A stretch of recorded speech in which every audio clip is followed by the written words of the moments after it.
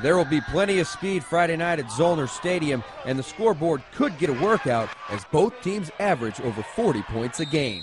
I don't care if it's two to nothing or 50 to 48. You know, uh, if we win, uh, that's all that really matters. It is that time of year anyway. We've been putting Espinoza at receiver, making sure we cover them deep, and just tying things up. I mean, we know they're going to be tough. They're blue collar, so we got to match that, and we got to be tougher.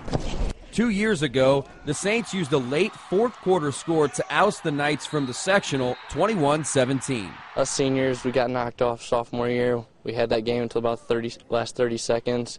We really got to come out here and show them that number 11 is not scared of number two. Don't quit you know, because we could have. That was a team that we had that didn't quit, and uh, they just kept trying to the end and, and, and came through. Friday is a battle of two conference champions, the SAC versus the NHC. But without a win, that could be the highlight of the season. They play with intensity, and this isn't going to be a cakewalk by any means. We're treating it like it's a state championship, and we're going to have to really bring it to win it. I mean, we don't want to go home on Friday night losers. We want to come out and get the W and head into the next week. I know on paper and to, in most opinions we're going to be considered an underdog, but you know, we're never going to go to a game feeling like that. And uh, you know they're a good team, but you know I think uh, we're, we're pretty good too. See which teams stay alive Friday night and advance to play for a sectional championship in the highlight zone. Reporting from Kendallville, I'm Ross Kinsey, News Channel 15 Sports.